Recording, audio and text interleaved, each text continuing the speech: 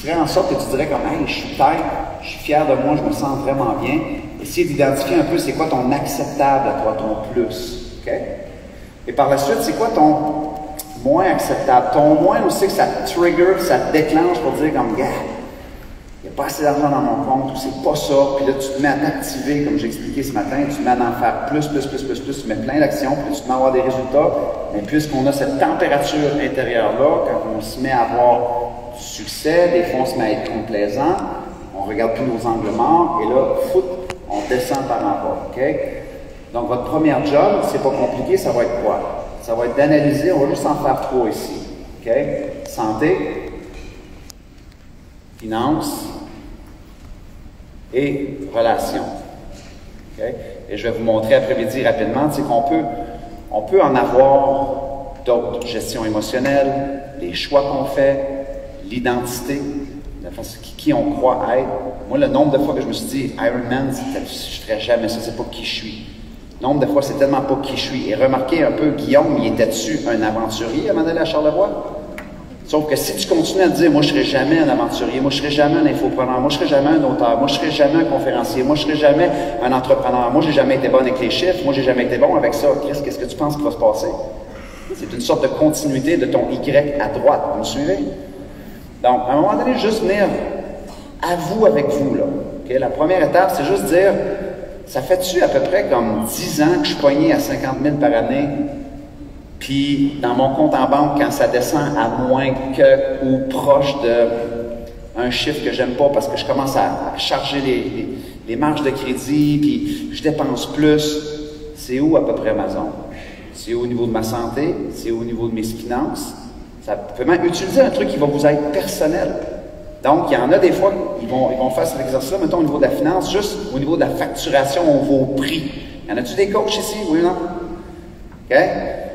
Est-ce que vous avez un, prix seuil que tu dis, ben là, je ne travaillerai pas en bas de ça? Est-ce que ça, vous avez déjà réfléchi à ça, oui ou non? OK? Sauf que là, si je te dis, ça serait quoi ton prix idéal, ton plus haut que tu as chargé comme coaching? Qui, pourrait me donner un exemple de, dire, hey, ça c'était mon meilleur contrat, c'était mon meilleur mandat de coaching? Criez un chiffre de même? 5 000? 5 000. 5 000. Et ton plus bas, dans la dernière année, là? c'est 3,50 pour un heure. 3,50 pour un heure, OK. Donc là, l'idée ici, donc lui, c'est 350, son plus bas, et c'est 7000 probablement pour un programme, on va dire, d'accompagnement peut-être de 12 mois, ou peu importe le nombre de mois, OK? Est-ce que tu aimerais ça, faire des programmes plus hauts que 7000 éventuellement? Oui. OK? Donc c'est là que la game rentre. Ça veut dire que pour que mon, disons, mon ancien haut devienne mon nouveau bas et que tu fasses des programmes à 15 000, qu'est-ce qui doit se passer? On va en parler un petit peu plus tard cet après-midi. Mais d'abord, juste peut-être essayer de dire à 350, c'est 000. Ça, c'est à peu près mon seuil. Et si vous avez tendance à vous trahir, de dire, ben, mon prix affiché, est 500, mais ça m'arrive souvent de vendre ici pour 32,75. Il y en a-tu qui font ça? Alors, je vais te le faire gratuit parce que je le sens bien, il me semble que toi et moi, ça connecte. Qui a déjà fait ça? C'est correct de le faire au début. C'est qu'à un moment donné, ça va aussi devenir la température de ce que vous faites. Donc, on a juste une petite réflexion sur ton haut actuel, ton bas aussi que ça fait allumer le thermostat, ou ton haut aussi que tu dis, mais je pourrais pas changer ça, je peux même pas le dire à mon client, je deviens nerveux quand même, il faut que j'y formule le 7000. Hey, moi, la, des, conférences, j'ai commencé, je pense, à 200 pièces, 100 pièces de l'heure, 200 pièces, 250. Un moment je me mets parler avec des conférenciers. J'ai dit, vous autres, euh, vous chargez comment, genre? Et pour moi, à cette époque-là, 250 pièces de l'heure, 300, 400, 500, j'étais riche. 3000 de l'heure. Pardon? Comme genre 3000, comme genre, euh, tu fais un atelier avant, tu fais la conférence, et par la suite, tu masses les pieds du président pendant six mois. Comme genre, c'est... Un nouveau concept, je ne le connaissais pas. Moi, l'idée de valoir 3000 en un an, c'était impossible, c'était inconcevable.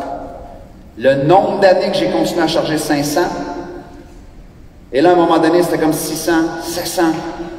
À chaque fois que je montais le prix, la température n'était pas apte et je devenais nerveux. C'était assez impressionnant, OK?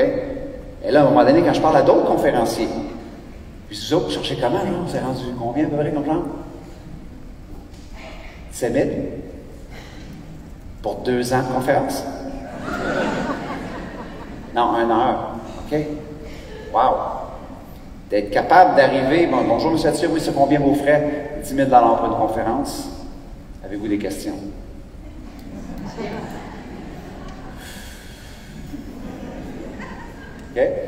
Et juste de, juste de l'habiter, de l'assumer. Peu importe le chiffre, je donne des exemples ici, OK?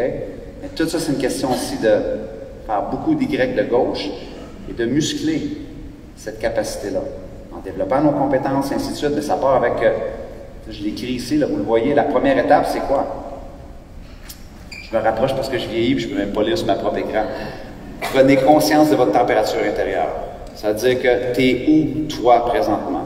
Et évidemment, je vous ai dit qu'il y avait d'autres sections. Donc là, vous voyez santé, finances, relations. Le GE, c'est gestion émotionnelle. En entrepreneuriat, je peux vous garantir, moi, quand j'avais un problème de 50 dollars à l'époque, donc admettons que là, on parle de la catégorie GE ici, là.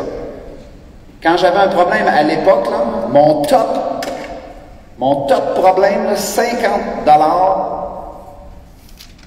c'était la fin du monde. 50 dollars, je me dis, voyons donc, hey, euh, Chris, vous rappelez-vous à l'époque quand un ami vous devait 20 piastres, oui ou non? C'était-tu un petit problème de avoir le 20 piastres, oui ou non? Tu le rappelais, le gars, oui ou non? Hey, tu me dois un 20, gros, quand est-ce que tu me donnes? Hey, tu m'as dit tu me donnes cette semaine, à cette époque-là, c'était un gros problème, oui ou non? OK? Mais à un moment donné, quand tu es en business, tu gères des problèmes de 500 pièces, des problèmes de 1000 pièces, des problèmes de 20 000 pièces, 100 000 pièces, 500 000 pièces. Quand tu fais une campagne Facebook, si tu dis si je veux augmenter ça, c'est à gérer là.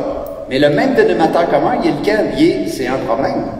C'est juste la question comment tu le gères émotionnellement. Donc, à un moment donné, tu peux faire une catégorie ici qui est ma gestion émotionnelle. Les trucs qui me font triggerer, qui me déclenchent, que je vais chioler, perdre mes, mes, mes, mes repères totalement, euh, devenir extrêmement insécure, peu importe. Je ne vais pas éliminer ça, mais est-ce que je peux juste mieux les gérer? Et maintenant, ben, si j'ai un ancien haut, c'est Hey, un problème de 5000, no problem. J'ai perdu 5000 aujourd'hui. All good. Et si tu ferais de ton ancien haut ton nouveau bas et que tu te mets à gérer des problèmes de 15 000 et ça te fait même pas broncher, c'est aussi une question d'escalader son identité. Et Puis, après-midi, je vais vous montrer un peu les cinq étapes que moi, je pense qu'en sortant d'ici, vous devez réfléchir à ça. Que vous allez réussir ou non avec l'Académie du Roulette, c'est un des plus beaux cadeaux. C'est similaire un peu à ce que Guillaume m'a enseigné, ça vient avec un défi. Il faut que tu marches un terrain difficile. Moi, je le dis toujours à mes leaders que j'accompagne. La montagne fait l'humain.